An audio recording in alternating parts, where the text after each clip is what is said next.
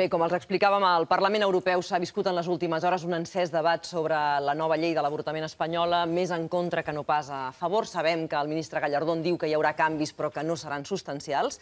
La reforma ja és al Congrés i en sabem els principals punts. S'acaba el dret de les dones a interrompre voluntàriament l'embaràs en les primeres 14 setmanes de gestació i només podran avortar legalment les dones violades i les que puguin morir durant el part o que tinguin un perill greu per la seva salut física i psíquica. Si al fetus li han detectat malformacions o malalties incurables, tampoc es podria eh, avortar, tret que l'estat del fetus sigui incompatible amb la vida i abans de les 22 setmanes de gestació. Nosaltres volem parlar d'aquest projecte de llei i hem convidat avui als matins a TV3 a l'Esperança Coll, que és directora de la Fundació Provida Catalunya. Bon dia i benvinguda. Bon dia. També a la Carme Porta, membre de la xarxa internacional de dones periodistes. Bon dia. Bon dia. I també hem convidat en Joan Antoni Mulà, ginecòleg de la Societat Catalana de Ginecologia. Com que entenem que vostès dues tindran dues posicions prou confrontades, eh, el paper del metge, si li sembla, senyor Mulà, serà més de, de tècnic sobre eh, el que diu aquesta llei. D'entrada, li voldria preguntar a la senyora Coll fins a quin punt és cert si hi ha hagut eh, pressions per posar en marxa aquest projecte de llei des d'algunes fundacions conservadores, des de la mateixa Església? Em pregunto una cosa que no sé. A veure, la Fundació Provida de Catalunya està, evidentment, a favor de qualsevol legislació que eh, almenys procuri que hi hagi menys avortaments. El que passa dintre dels partits de l'Església o de les pressions que pugui haver-hi, això uh -huh. jo no tinc ni Vostès idea. Vostès no han pressionat. Per tant, no, des de la Fundació Provida, per no, exemple. No, nosaltres estem al costat de la mare, uh -huh. al costat de la problemàtica, intentant solucionar eh, els problemes d'aquestes mares. Ara, més enllà, no fem de lobby, nosaltres intentem pressionar. Eh, estem agraïts que hi hagi hagut canvis, però no ens hem mogut en aquest sentit. Uh, canvis en aquesta línia, perquè vostè diu nosaltres estem al costat de qui vulgui reduir els avortaments que hi ha en aquests moments. Reduir-los en, en qualsevol cas? Sí, nosaltres sabem que hi ha vida humana des del moment de la concepció. Per tant, la millor llei per nosaltres és la que no hi ha llei. O sigui, la millor situació és que no hi hagi una llei de l'avortament. Que no Entenem es pogués avortar en cap cas? Que no es pogués avortar provocadament, evidentment. Això no es pot arribar de cop i volta. I, per tant, qualsevol canvi en el sentit de que hi hagin menys avortaments, per nosaltres és favorable. Nosaltres, per exemple, el nom de la llei. O sigui, eh, he portat escrit per no sí? canviar ni una coma, no? Diu, eh, Ley Orgánica para la Protección de la Vida del Concebido y de los Derechos de la Mujer Embarazada. Aquí fa visible el concebut. A la llei anterior no sortia en cap lloc. Semblava que només era el dret de l'avortament, es parlava de l'avortament. Aquí hi ha dos, dos éssers humans que surten en el títol de la llei. Això per nosaltres és un avenç. Senyora Porta, en el seu cas, aquesta llei o aquest projecte de llei ens torna 30 anys enrere? És evident que ens torna 30 anys enrere. El que passa que jo crec que hi ha una cosa que, que hauríem de parlar de base, és a dir, eh, fa falta una llei eh, que mm, moduli el, el tipus d'avortament que es pot portar a terme. Jo crec que aviam, són decisions que s'han de prendre, és a dir, no són decisions fàcils, i en canvi estem eh, afavorint que amb aquest tipus de llei sempre hi hagi una tercera persona que decideixi en lloc de.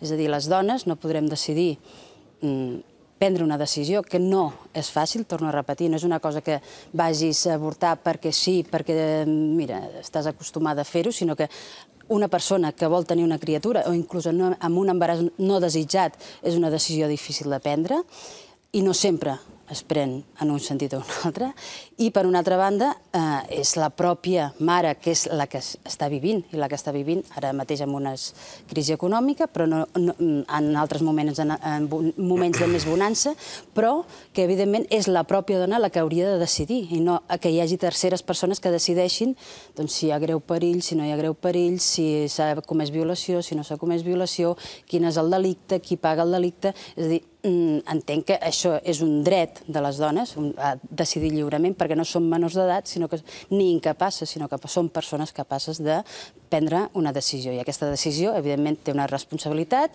hi ha una acció, i és en aquest sentit que penso que som ciutadanes de primera o de segona categoria. En aquest sentit, jo crec que precisament la llei ens posa en un segon terme. Eh, molts metges temen caure en un risc d'inseguretat jurídica. Per què, doctor? Bé, a veure, eh, si mirem una mica el tema de, la, de les lleis de l'avortament, de fet, l'avortament en el Codi Penal antic, fins l'any 85, mm. era un delicte. Per tant, la, la, de les tres lleis que es parlen, la primera, la del 85, va ser una, una simple despenalització en tres supòsits. Uh, la, la segona llei, que és l'actualment vigent, que és la, la llei de 2010, 2010 uh, des del punt de vista del seu desenvolupament és una llei molt més completa i des del punt de vista de, de l'article 15, que és el que parla de les eh, interrupcions per malformacions més enllà fins i tot de les 22 setmanes, és una llei que dona més comoditat per treballar, per exemple, als especialistes que es dediquen al diagnòstic prenatal. En quant a l'avantprojecte de llei, suprimeix aquest tipus de, de, de, de supòsit, però en canvi deixa una porta oberta al fet que es pugui interrompre un embaràs per les conseqüències greus psíquiques per la, per la mare. D'alguna manera, doncs, durant, aquests tres mm, documents legals, la despenalització, la llei vigent i l'avantprojecte, la, hi ha un tema que ens preocupa als metges, no? que és el fet que hi hagi eh, mm, zones d'incertesa o interpretatives, perquè, evidentment, quan parlem de greus perills per la salut física o psíquica de l'embarassada, realment pot ser una porta oberta molt interpretativa des del punt de vista de interrupció d'embaràs. És a dir, realment el que... A veure, la, la societat catalana, evidentment, acull eh, professionals amb diferents sensibilitats, però el que a nosaltres ens preocupa, sobretot, és la seguretat jurídica tant de la dona com del professional que pugui interrompre un embaràs. En el moment en què es demanin dues opinions, per exemple, a dos psiquiatres sobre l'estat de la salut mental d'aquella dona, Aquí també hi pot haver conflicte? Bé, a veure, els psiquiatres, en tots els respectes, no tenen una bola de vidre. És a dir, no poden preveure el que pot passar per un embaràs no desitjat en el futur, tal com explica la llei. Eh? els metges, d'alguna manera, el que volem sempre, i ja dic respectant totes les sensibilitats, és que la llei, el legislador, sigui el més concret possible, cosa que no ha fet mai. D'acord. D'avortaments per violació eh, n'hi ha pocs, per tant, més del 90% de les dones que a partir d'ara volguessin avortar haurien de complir aquests requisits. Concretament, demanar informes a dos metges diferents, que siguin aliens a la mateixa clínica on es fa la interrupció. Això que estàvem comentant ara mateix amb el doctor. Una cita amb els serveis socials perquè els informi de les ajudes a la maternitat i set dies de reflexió abans de abans d'avortar. Abans parlàvem de, on queda la decisió de la dona, amb la senyora Porta, on queda la decisió de la dona en el moment de poder decidir lliurement si vol avortar o no vol avortar? Quan parlem de la llibertat, no només les dones, les dones, els homes, i tot ésser humà, té uns límits a la seva llibertat. Jo puc decidir en les coses que, que em pertoquen a mi, però jo no puc intervenir en el que li pertoca al senyor Mulà. O sigui, els meus límits estan on comença els drets de llibertat del, del doctor Mulà. Per tant, quan, quan la Carme Porta eh, parla de, dels drets de la dona, un dret mai pot provocar directament un mal. I, per tant, la dona no té dret a eliminar la vida del seu fill. Estem parlant d'un fill, no estem parlant de qualsevol cosa. Estem parlant d'un fill. I, per tant, els drets de la dona no són tals, o sigui, en aquest sentit. A veure, parlem de que no es pot obligar, oblidar eh, obligar perdó, a una mare, a, a una dona a ser mare? Evidentment que no. no. És una decisió personal de la dona. Però tampoc podem eh, obligar a qualsevol persona a ser metge. Però un cop ja ho ets, el que no pots és renunciar a les teves responsabilitats. Estem parlant de mares que ja ho són, perquè porten dintre seu un fill i, per tant, ja han d'assolir les responsabilitats que això comporta. I si em permets, Esperança, sí, sí. perdó, eh? No, no vull tallar. Però el, eh, jo crec que en tota la primera part de la teva, de la teva intervenció estic d'acord. És veritat, la llibertat d'una persona eh, no pot comportar, eh, de decisió, no pot comportar mai un mal. I aquí està decidint un metge, està decidint uns jutges sobre la vida de la, de la futura mare o no futura mare. És a dir, la decisió de dues institucions estatals o dos representants d'institucions eh, públiques estan decidint eh, sobre el futur d'aquesta dona. I, és a dir, la, la dona, en tot cas, no estem parlant, jo no parlaria d'un fill, tot i que és un debat moral complicat, no? sinó que parlaria d'un fetus. I aquí, precisament, la comunitat científica, no sé, el, el doctor, però hi ha, hi ha bueno, hi ha un debat sobre quan el, eh, realment eh, el fetus és una persona i quan no hi ha... I estem quan realment estem humans. parlant... No, estem Perdona, parlant d'un fetus, no, estem no parlant d'un fetus i per, tant, i per tant el que estem parlant és el mal qui el qui el pateix en primera instància és, és la dona. Eh?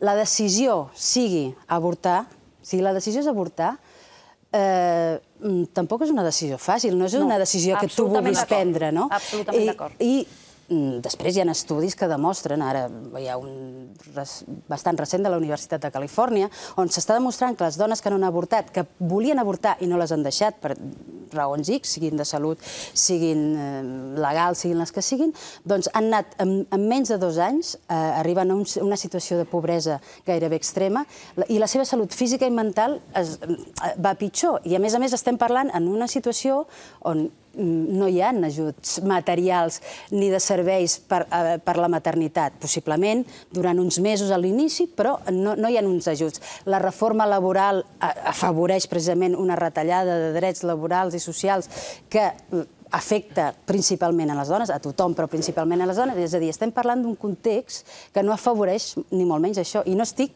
dient mm, una cosa o l'altra, és a dir, no és, eh, hem d'afavorir que totes. No, no, hem d'afavorir que les dones lliurement puguin decidir sobre la seva vida. Precisament, que ni un metge ni un jutge decideixin sobre el seu futur. Jo aniria més enllà. Si la qüestió fos aquesta, podríem tenir el debat i potser hauríeu de tenir vosaltres la raó. Però és que jo vaig més enllà.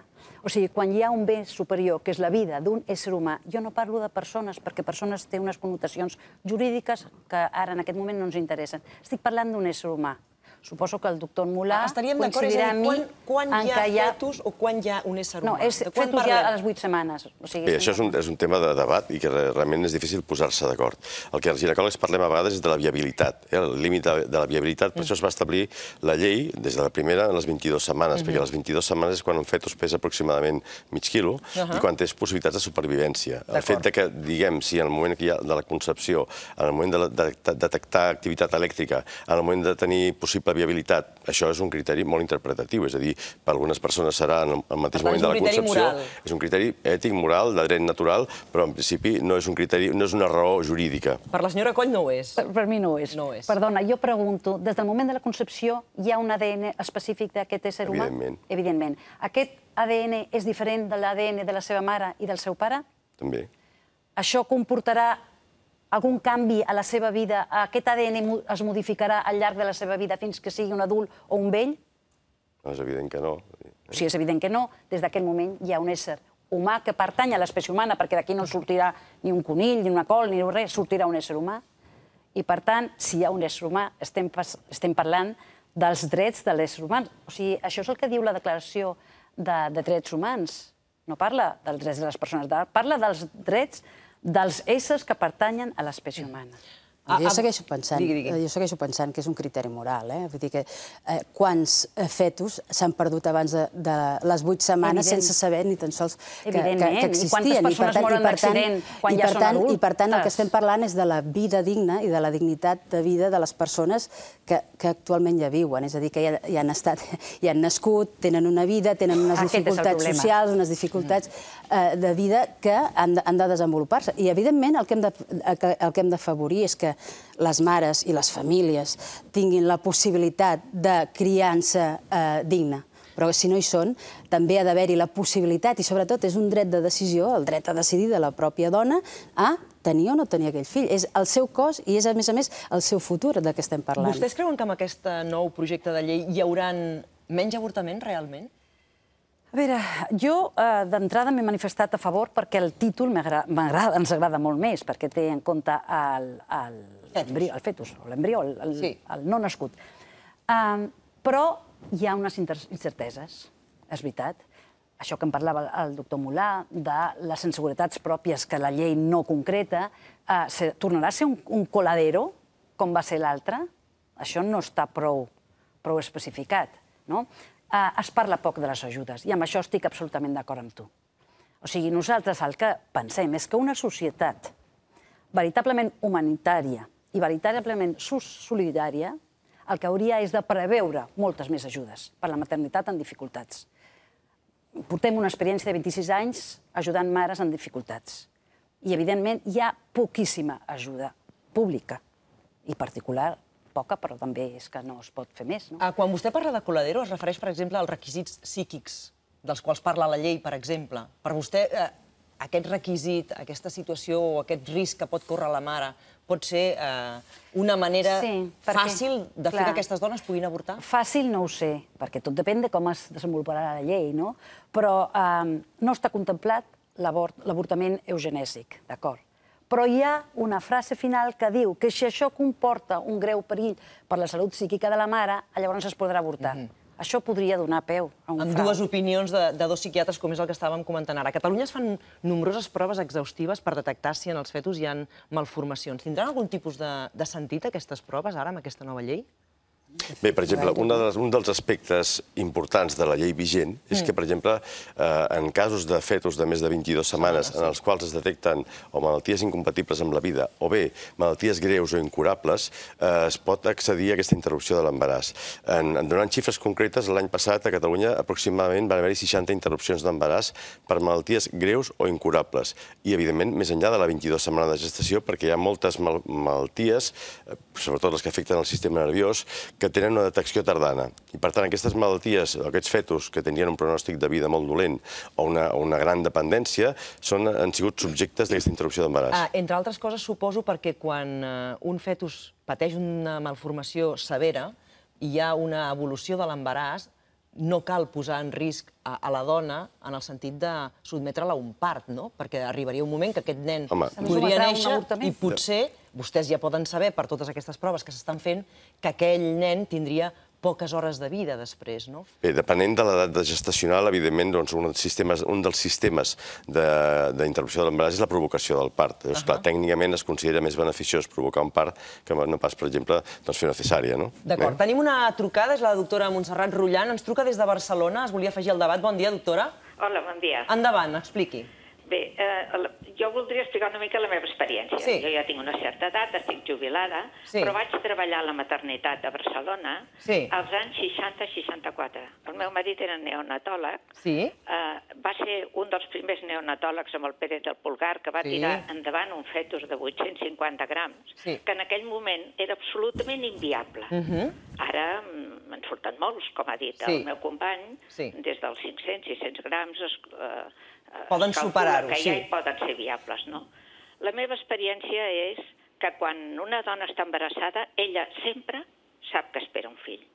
No Mm. espera un grumoll, sap que espera un fill. Mm-hmm. El fill li pot crear uns trastorns, li pot crear uns beneficis, sap que no és ella, té, a lo millor té un grup sanguini diferent i a lo millor són hasta incompatibles. Mm-hmm. Aquest fill li deixarà rastre per tota la vida, en el cap, en el cor, i li deixarà cèl·lules.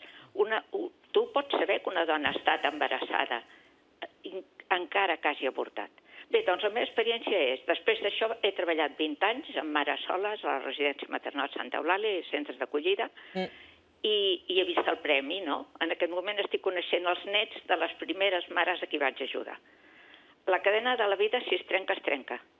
No Ja. és que desapareixi un grumoll que era un projecte, és que desapareix un ésser que tenia unes possibilitats. Entre, esta, entre aquestes, la principal, viure, i viure la seva vida amb llibertat. La dona pot ser que no el pugui criar, pot ser que tingui dificultats. Anem a solucionar-les. El company ho ha dit molt bé, és més fàcil un part que un avortament.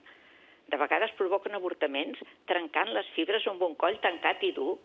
Home, no, deixem que les coses siguin més naturals. Ajudem a on hi hagi el problema, no anem allò tan antic que estudiàvem nosaltres quan estudiàvem medicina, de muerto el perro, muerta la ràbia. Anem a buscar solucions concretes en els problemes concrets. Per tant, per vostè, doctora Rullant, aquest projecte de llei de l'avortament és un pas endavant en aquest sentit. Sí, en certa manera, encara que el trobo ambigu, crec que concreta molt poc les ajudes. A mi em preocupen les ajudes. Em preocupa que surti un projecte de llei que de veritat protegeixi les dones. Mhm. I si la dona està embaras- embarassada, els protegeixi tots dos. I després ja es veurà. Ja ho sé que hi, ha, eh, que hi ha ajudes, però n'hi ha molt poques. Molt bé, gràcies, doctora Rullant. Tenim una altra trucada en espera, és la Mònica. També ens truca des de Barcelona. Mònica, bon dia, endavant.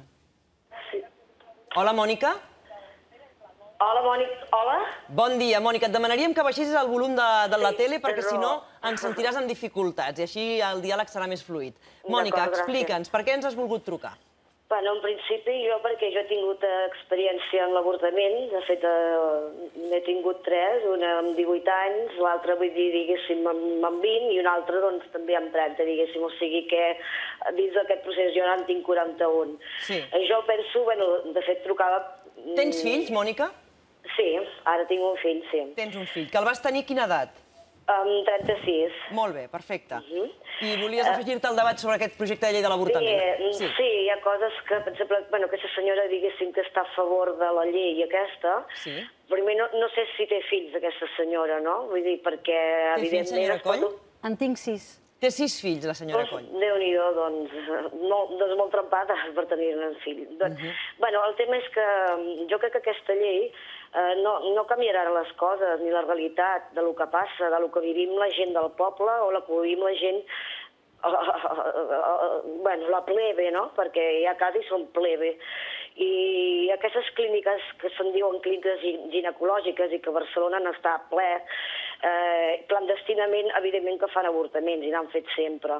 Això seguirà. Jo penso que això també és una política, és una llei no, no moral, no fer un canvi, eh, eh, és, és totalment econòmic, no? per tal de, de beneficiar aquestes clíniques que vés a saber si estan en nom també d'aquests polítics com, com el que és totes aquestes empreses de la llum que estan en nom de l'Aznar i de tota aquesta gent que, que ens envolta i que, bueno, que no sé què és el que està passant en aquest món, que ja m'acosta d'entendre, i jo penso que és precisament lleis, evidentment, per beneficiar-se una, una vegada més aquestes clíniques clandestines. No, bueno, jo sé que al carrer Vi- Vi- Villarroel, per exemple, n'hi ha una, que és allà on jo he exercit doncs, els, els meus avortaments, i bueno, allò era increïble, no? Estava ple eh, de, de gent, de noies de totes les edats, eh, passaves amunt d'allò, te feies un, un estudi psicològic, que en un moment, res, 5 minuts pum pum, entraves i tot es feia en un mateix dia.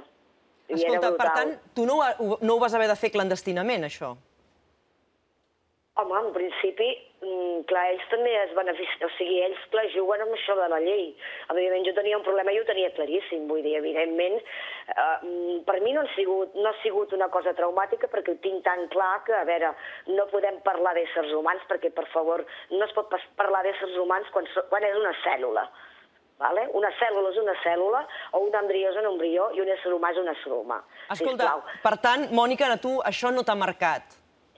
Home, m'ha marcat poder en el primer moment, poder m'ha marcat més poder la relació que a mi m'ha passat, amb, amb, amb, més la relació doncs, amb, la, amb la parella que hagi pogut tenir o amb el company, però no en el sentit de que hagi jo mm, realitat un crim, no me sento cap, no tinc cap mena de remordiment, cap mena de remordiment. en Mhm. Amb la- aspecte. amb la situació- És, és... Sí, perdona. No, no, no, et volia preguntar que amb la situació que planteja aquest projecte de llei, si ara et trobessis en la circumstància de que haguessis de dur a terme tots aquests avortaments que als 18, als 20 i als 30 anys vas fer, Mhm. com t'ho faries? Bueno, aniria a, tru- a la clínica mateixa aquesta, estic segura que ara mateix truques aquest telèfon en aquesta clínica i directament és que te diuen porta dos compreses, porta això, porta això i, eh, i te fan, i fan l'avortament. 300 euros i punto. I en un dia se fa tot. I, i, i, i tu imagina't la quantitat de gent que jo es penso de 300, 300, 300 i, bueno, i pim-pam-pum fuera, eh? Vull una cosa pim-pam-pum fuera. Molt, molt bèstia, molt bèstia. S'ha de viure, s'ha de viure. Mònica, moltíssimes gràcies pel teu testimoni. Què us ha semblat el testimoni de la, de la Mònica? Tres avortaments, en aquest cas amb ella no li han suposat cap trauma, li havia suposat més trauma la ruptura o el que va suposar el trencament amb la seva parella. Hi han clíniques que diu que ho fan amb aquesta facilitat, com explicava ella, amb el has de dur, amb aquest eh, test psicològic que ha dit de, de dos minuts. Això continuarà passant? Ara més que mai? Jo crec que el que continuarà passant és que encara tirarem més enrere. Dir que el, que el que continuarà passant és que els avortaments seran clandestins, és a dir, ara, ara hi ha supòsits que abans eh, es contemplaven que ara no seran possibles i, per tant, estem parlant de que situacions que fins ara, ja no amb la llei eh, vigent, sinó amb la llei anterior, eren legals, doncs ara passaran a ser il·legals i, per tant, el que estem, el que estem parlant és de, de que es considerarà delicte una cosa que, bueno, mm, en molts casos no té absolutament cap viabilitat de, de que sigui una vida real, diguem. Senyora Sí. Coll i, i doctor també, quan vulguin. Gràcies. Um, parles de, de casos que no tenen cap via viabilitat. Hi ha uns petits casos, uns quants casos d'això, però quan es busca una legislació, es busca per una, per una situació general. Quants casos hi ha hagut d'avortaments que han dit que hi havia un risc de malformació, després s'ha vist que no, o, o dones que han, vist, que han decidit no avortar i que després el fetus era absolutament normal. Però això no és el punt. El punt seria que eh, des de la nostra postura el que volem fer és una crida.